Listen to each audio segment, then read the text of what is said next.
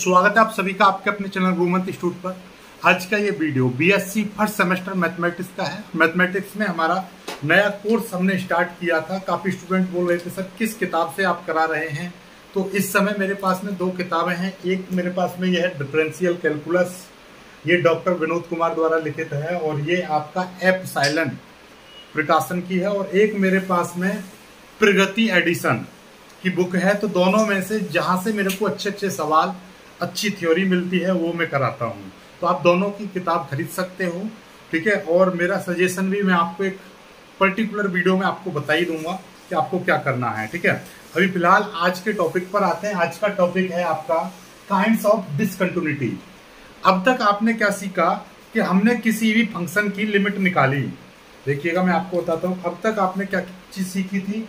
यानी कि हमारे पास सपोज़ दैट कोई भी एक फ़ंक्शन है कुछ भी फ़ंक्शन दे रखा है, और इसकी हम इस फ़ंक्शन की x टेंस टू a पर लिमिट निकाल रहे हैं। हमने जब इसकी लिमिट निकाली तो इसकी एल एच एल कुछ आई, इसकी आर एच एल भी कुछ आई, और इस फ़ंक्शन में जहाँ जहाँ पर x है, वहाँ वहाँ पर यदि मैंने a रख दिया, क्योंकि मैं a पर निकाल रहा हूँ, x टेंस टू a पर। तो a पर एल एच एल निकली, a पर आर एच एल निकली, a पर फ़ंक्शन की वैल्यू निकली। ये तीनों वैल्यू जब बराबर आती हैं तो हम कहेंगे कि फ़ंक्शन आपका कंटिन्यूस है।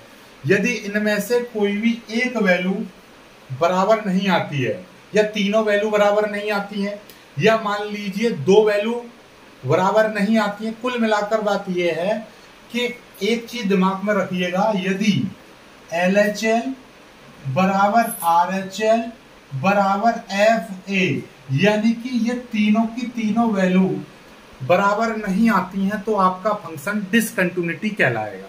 यानी डिसकंटिन्यूस कहलाएगा और इस प्रकार की जो कंटिन्यूटी है, वो डिसकंटिन्यूटी कहलाएगी। बात समझ में आ गई कि यदि हमारा किसी भी फ़ंक्शन के लिए यदि मैं x टेंस टू a पर लिमिट निकाल रहा हूँ तो ये तीनों वैल्यू आपस में बराबर ना आए तो वो फ़ंक्शन आपका डिसकंटिन्यूस कहलाएगा। ओके अब डिसकंटिन्यूस के प्रकार मैंने आपको बताया है। जैसे मान लीजिए कि सपोज़ दैट कि एल एच एल और आर एच एल बराबर नहीं आए तो कुछ अलग डिसकंटिन्यूटी होगी। यदि मैं कह रहा हूँ एल और आर एच एल बराबर आ गए, लेकिन ये एफ़ ए के बराबर नहीं बैठे, ठीक है? या किसी का एल एच एल में से किसी एक का मान इन्फिनिटी आ गया और आर एच एल और आपका एफ़ ए ये आपस में बराबर आ गए तो अलग अलग समय पर अलग अलग कंडीशन आती हैं। या मान लीजिए एलएचएल कुछ और आया आर कुछ और आया एफ़ ए कुछ और आया। तीनों वैल्यू यदि डिफरेंट आई है तो। तो सबकी अलग अलग कंडीशन है और अलग अलग वो डिसकंटिन्यूटी होती है।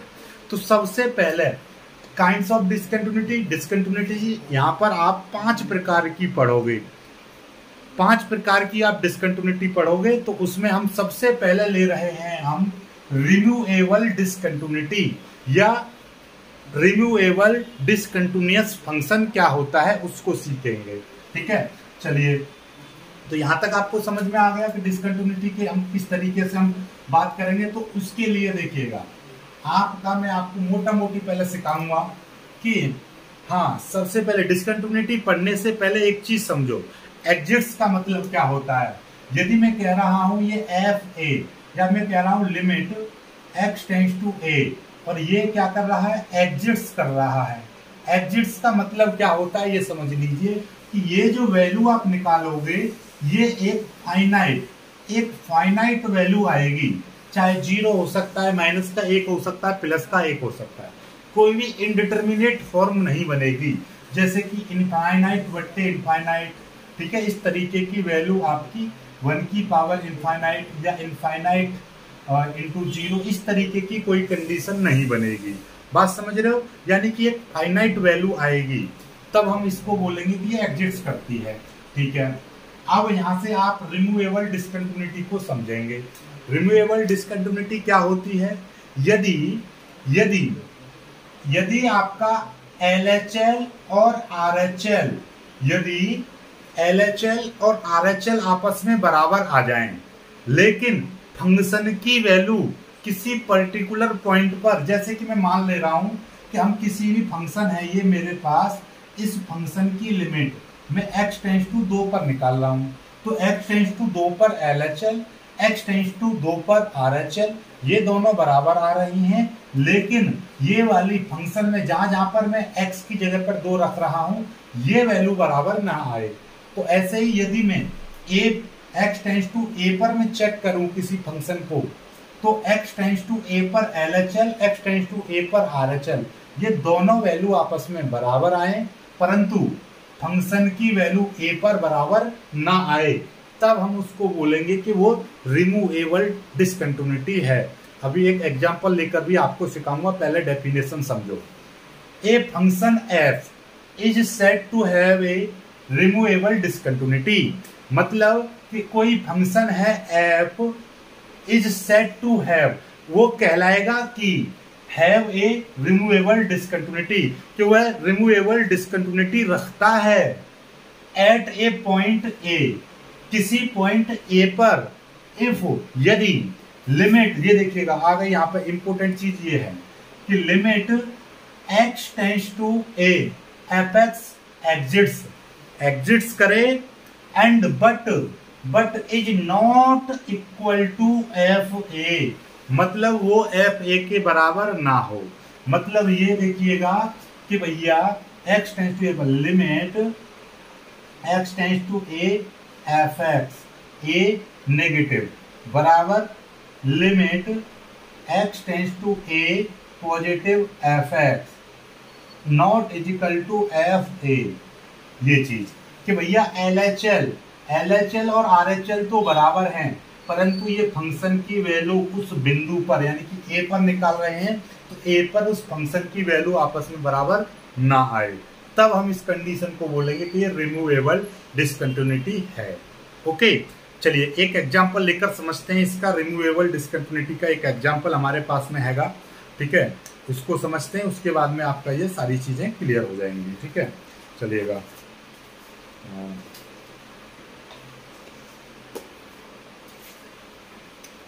ये मेरे पास में एक एग्जांपल है उसको समझते हैं यहाँ पर देखिएगा एग्जांपल के तौर पर मैंने एक फ़ंक्शन ले लिया है एफ़ है इस तरह से ये लिया है कि आपका यहाँ पर है X if X less than is greater than equal to zero and less than and equal to one Y less than one by two zero F X is equal to one by two ठीक? और X minus one by two sorry one minus X one minus X F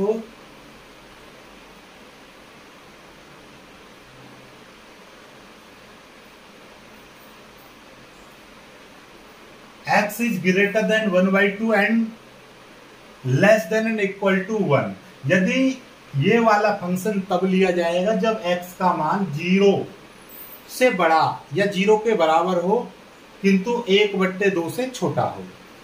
ये वाला zero तब लिया जाएगा जब x का मान एग्जैक्टली एक बट्टे दो के बराबर है। वन माइनस एक्स तब लिया जाएगा जब x का मान एक बट्टे दो से ज़्यादा और एक के बराबर या एक से कम है। बात समझ में आ गई आपको? ठीक है। अब इसकी हम निकालते हैं, इसको एल एच एल निकालते हैं एल एच एल ठीक है? हमको क्या करना है? क्वेश्चन इस तरीके से देगा। Discuss discuss the discuss the discontinuity at X is equal to one by two यानी कि वन बाई टू पर इसकी डिस्कंटिन्यूटी को डिस्कस करना है चेक करना है। ओके चलिए तो अब हमारे पास में क्या है यहाँ पर? कि हम देखेंगे एल एच एल और आर एच एल पहले बराबर आ रही है या नहीं आ रही है। तो सबसे पहला काम है हमारा एल एच एल निकालना। एल एच एल कैसे निकलता है?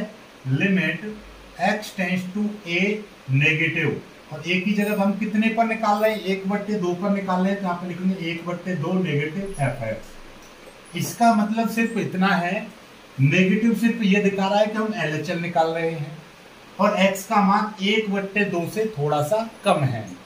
और एक बट्टे दो से यदि x का मान कम है तो हमको कौन सा फ़ंक्शन लेना पड़ेगा?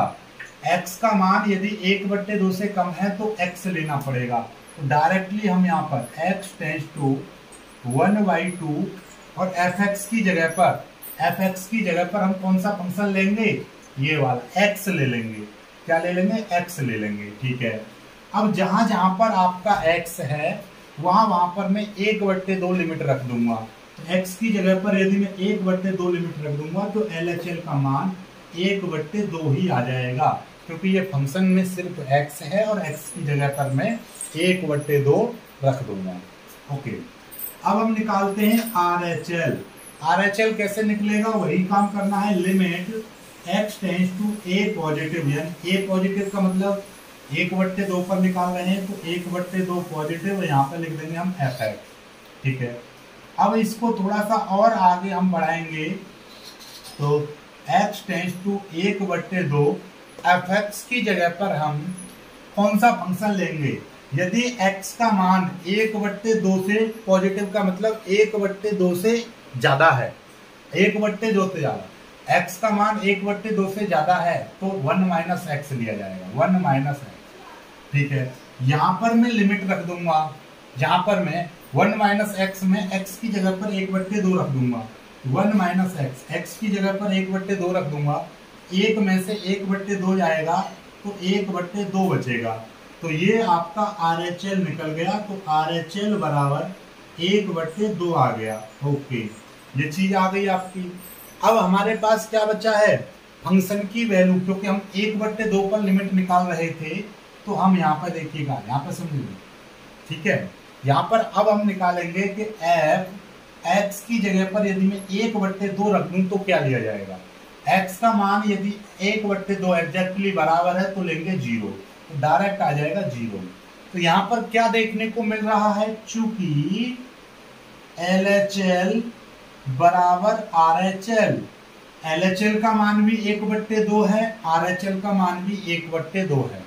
दोनों के मान बराबर आए हैं और एक फाइनाइट वैल्यू भी है, एक फिक्स वैल्यू है फाइनाइट वैल्यू है।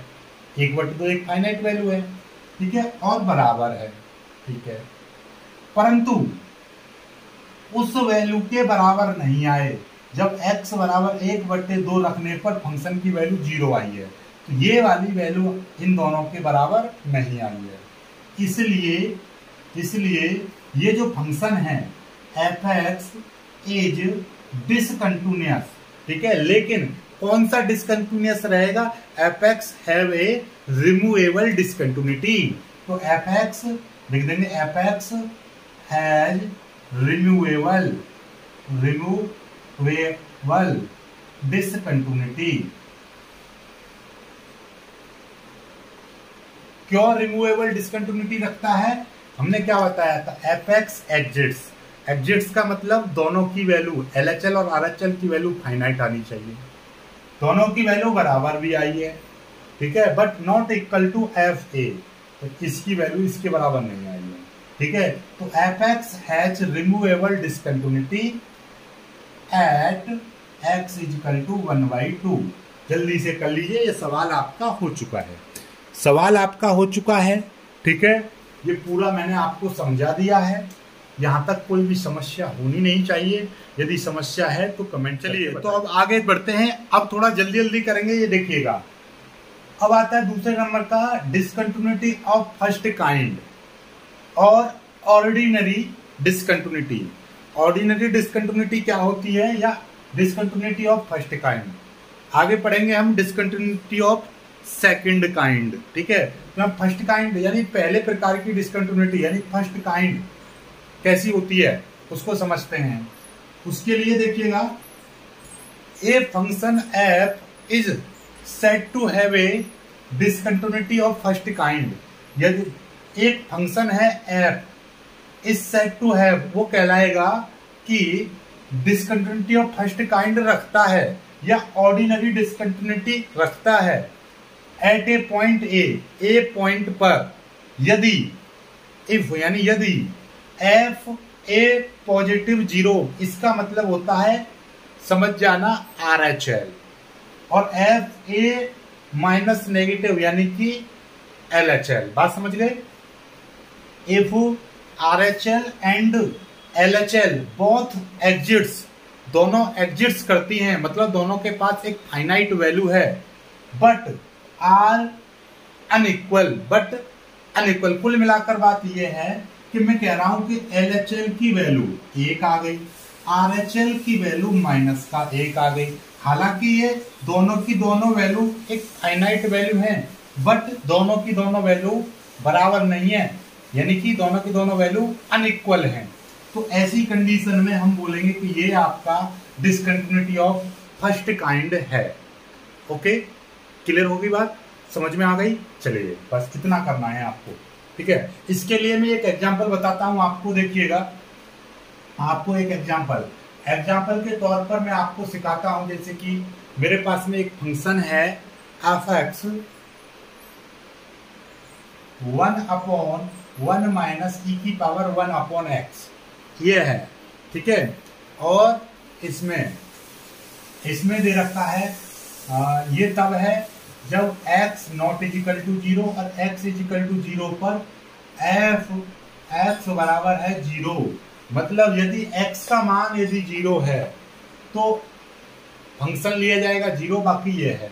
और इस कंडीशन में जब आप एल एच एल निकालोगे, ठीक है किस पर x इजिकल टू ज़ीरो पर।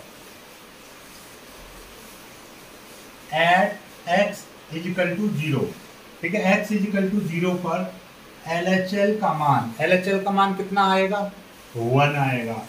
ठीक है? आर एच एल का मान यदि निकालोगे तो इसका मान ज़ीरो आएगा। ठीक है? एल एच एल का मान इतना और आर एच एल का मान इतना। और फ़ंक्शन की वैल्यू ज़ीरो पर फ़ंक्शन की वैल्यू ज़ीरो आ रही है।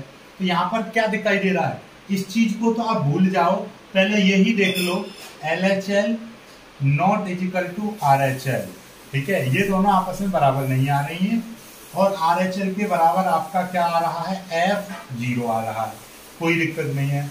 तो ऐसी कंडीशन में हम बोलेंगे कि ये आपका डिसकंटिन्यूटी ऑफ़ फ़र्स्ट काइंड है। बात समझ में? एलएचएल और आरएचएल आपस में बराबर नहीं है। ठीक है? क्लियर होगी बात? अभी आप कहेंगे, सर, इसको सॉल्व करके दिखाओ। अभी इसको सॉल्व करेंगे, पहले इसके पाँचों के पाँचों कंटिन्यूटी को डिसकंटिन्यूटी को सीख लो पहले। ठीक है? फिर आगे बढ़ते हैं। ठीक ठीक।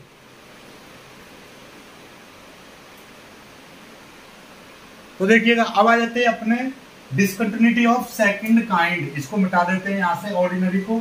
अब हम करेंगे यहाँ से, ये फ़र्स्ट काइंड था, ये है आपका सेकंड काइंड तो इतना समझ लीजिए, एक function F is set to have a discontinuity of second kind at a point A यानी कि कोई फ़ंक्शन है, वो कहलाएगा कि वो सेकंड काइंड डिसकंटिन्यूटी रखता है if none of limit F A plus A और एफ़ ए माइनस ए यानी कि none of limit R H L and L H L exists मतलब ये ना तो एल एच एल का मान कोई फाइनाइट आना चाहिए, ठीक है? ये फाइनाइट नहीं आना चाहिए, ना ही आर एच एल का मान फाइनाइट आना चाहिए। तो ऐसी जो लिमिट है, वो आपकी डिसकंटिन्यूटी ऑफ़ सेकंड काइंड कहलाती है।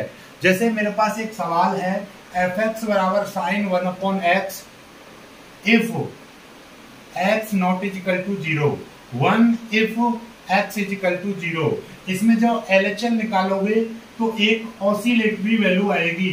एक ऑसी